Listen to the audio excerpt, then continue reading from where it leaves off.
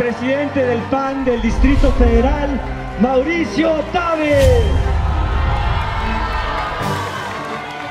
Queremos mejores condiciones de vida, que haya empleo, que no nos aumenten los impuestos, que mejore el transporte público, que en verdad haya agua de calidad en las cosas. Esto es lo que necesita Iztapalapa y eso es lo que necesita nuestra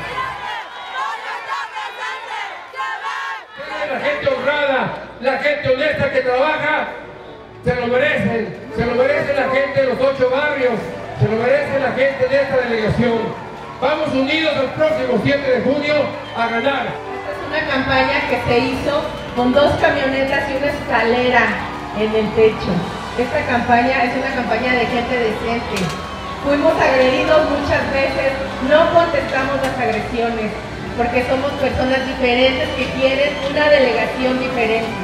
Empieza por un cambio, el cambio en Iztapalapa, el corazón social de la ciudad, Iztapalapa. Es tiempo de abrir, vamos por el cambio en Iztapalapa, es tiempo del PAN.